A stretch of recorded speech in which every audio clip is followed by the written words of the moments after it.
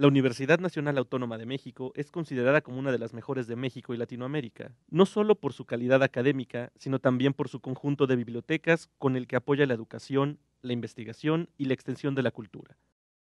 Las bibliotecas apoyan los estudios de nivel medio superior que se imparten en prepas y CCHs, los estudios profesionales en escuelas y facultades, y los posgrados que se ofrecen en facultades, centros e institutos. Un alto porcentaje de la investigación en nuestro país se lleva a cabo en la UNAM, los profesores e investigadores universitarios además forman nuevas generaciones de científicos. Las investigaciones científicas, sociales y humanísticas que se efectúan en las entidades universitarias se apoyan en las bibliotecas.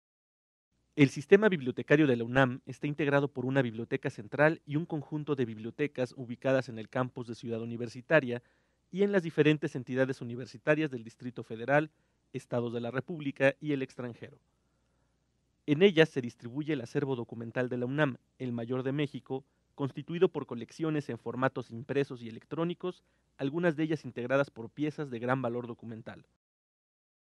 Además de su acervo, el sistema bibliotecario destaca por sus avances e innovaciones, como la incorporación generalizada de tecnologías de información y comunicación, la automatización de los servicios que facilita la consulta del acervo sin estar en la biblioteca, por ofrecer espacios adecuados para el estudio y la reflexión todo ello con el propósito de brindar servicios eficaces que garanticen la formación de recursos humanos y el desarrollo de la investigación. Cada biblioteca del UNAM es única en su género. Algunas con colecciones altamente especializadas destacan por su excelencia a nivel nacional.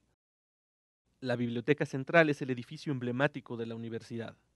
Las cuatro fachadas de su mural hecho con piedras de colores reflejan la visión del artista Juan O'Gorman acerca de la cosmogonía prehispánica en el muro norte, la época colonial y el choque de ambas culturas en el muro sur. El muro poniente representa la dualidad tradición-progreso, referidas a los dos aspectos del progreso social de México, la ciudad y el campo. Y en el muro poniente, el artista busca hacer una síntesis de la cultura nacional con motivos prehispánicos, estudiantiles, populares, deportivos y el escudo de la UNAM, que se articulan y representan su misión educativa y cultural en la sociedad.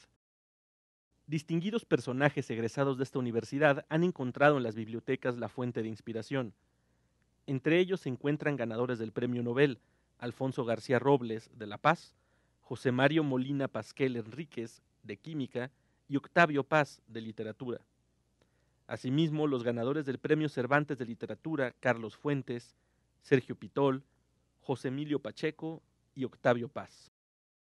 Asistir a la biblioteca te permitirá elaborar con mayor facilidad tus trabajos, tareas e investigaciones, reafirmar e incrementar tus conocimientos y enriquecer tu cultura.